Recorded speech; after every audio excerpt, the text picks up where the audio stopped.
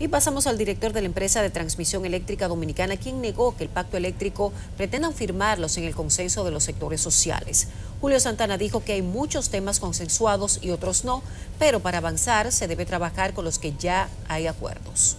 Yo creo que se va a firmar con el sector social, pero naturalmente no es solamente el disenso, hay muchas otras cosas que no solamente el sector social hay disenso de parte de nosotros, hay disenso de parte de los empresarios, siempre habrá tema de disenso. ¿Qué es lo que hay que hacer? Que haya buena voluntad para actuar en lo que estamos de acuerdo. Si nosotros avanzamos en lo que estamos de acuerdo, nosotros echamos al país para adelante. El funcionario se refirió al tema en el acto donde la empresa de transmisión eléctrica dominicana recibió la certificación de la norma internacional ISO 9001-2015 que audita su sistema de gestión de calidad en la operación en tiempo real y el sistema eléctrico interconectado del país.